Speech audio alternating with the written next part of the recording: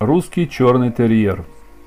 В отечественном кинематографе, в тех фильмах, которые посвящены теме ГУЛАГа, зонам, лагерям, обычно показывают вертухаев, то есть охрану лагеря, с собаками породы восточноевропейская или немецкая овчарка.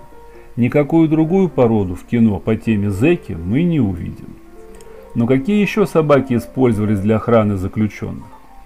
В 1984 году FCI, Международная кинологическая федерация, официально признала и зарегистрировала новую породу русский черный терьер. В СССР, собственно, как порода, она была зарегистрирована уже в 1981 году.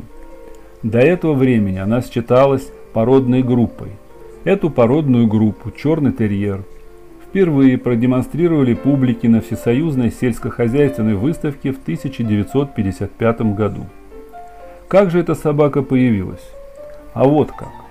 После Великой Отечественной войны стало ясно, что потери служебных собак во время боевых действий были огромными, и стране катастрофически не хватает специальных собак. Но универсальной собаки, универсального, так сказать, солдата, который мог бы нести любой вид службы, как в военное, так и в мирное время, не было. И тогда на самом высоком уровне было принято решение – создать породу собак со следующими к ней требованиями. Будущая собака должна была быть крупной, второе – интеллектуальной, третье – легко обучаемой, четвертое – неприхотливой, пятое – холодоустойчивой, подразумевалось применение в районах Крайнего Севера, шестое – длинношерстной, но не линяющей, минимальный уход, седьмое – выдержанной, спокойной, крепкая нервная система. Восьмое. Выносливый и работоспособный. Девятое. Контактный и преданный человеку. Десятое. Злобный и недоверяющий посторонним. Одиннадцать. Незаметного, не пестрого окраса. Да как же такую породу создать?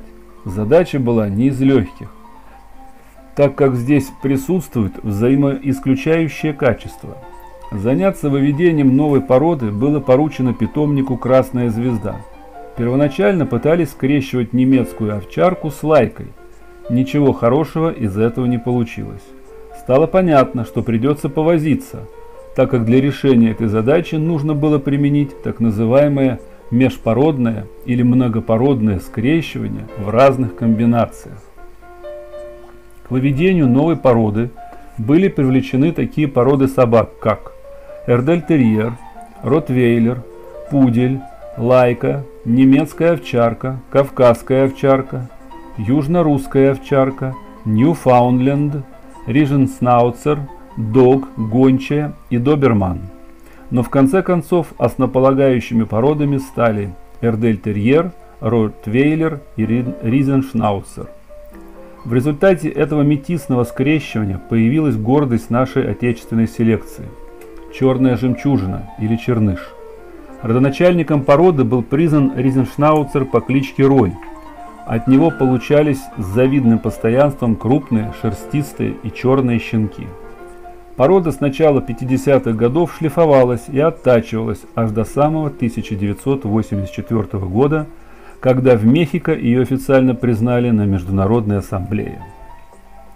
Что же в итоге получилось? А вот что – но в настоящее время встретить на улице русского черного терьера можно совсем не часто. А зря.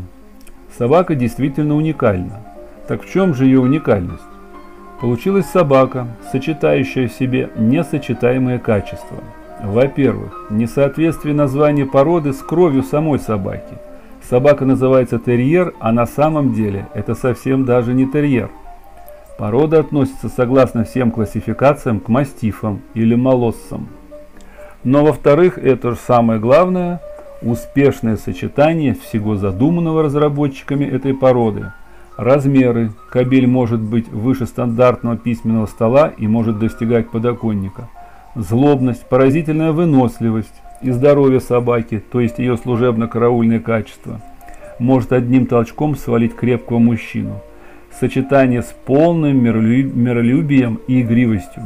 Это вам не дебильные тупоголовые породы бультерьеров, питбулей и стафарширских терьеров, и им подобных, этих убийц всего живого и даже маленьких детей. Это страж и добрый друг в одном лице.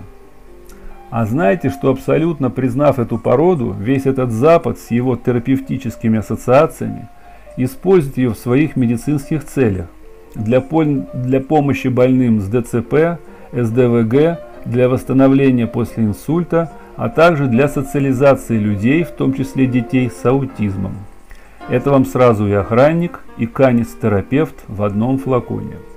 Но не старайтесь сделать из него цепного пса. Не сажайте его у себя в загородном коттедже на цепь. Ему нужно движение, простор и, конечно, ваша любовь. А уж за его преданностью дело не постоит. Ведь черныш, атакуя, не просто хватает, а сильно кусает. Есть огромная разница между этими терминами. Просто схватить – это одно, а укус подразумевает и проникновение, и вращение, и вырывание. Эта собака в момент атаки нацелена сразу и на ноги, и на пах, и на живот. Недаром, что эту собаку называют еще черная смерть. Ну а что касается мирных соревнований, так здесь РЧТ, конечно, тоже не отстает. Всегда великолепные показатели на выставках, в собачьих фотосессиях, в кинологических фристайлах и в танцах с собаками. Так что, как видите, у нас в СССР получались не только ракеты и балет, а еще вот такие вот строгие, но очень милые создания. Кстати, к слову, а какую собаку подарил Путин Уго Чавесу? Правильно, щенка русского черного терьера.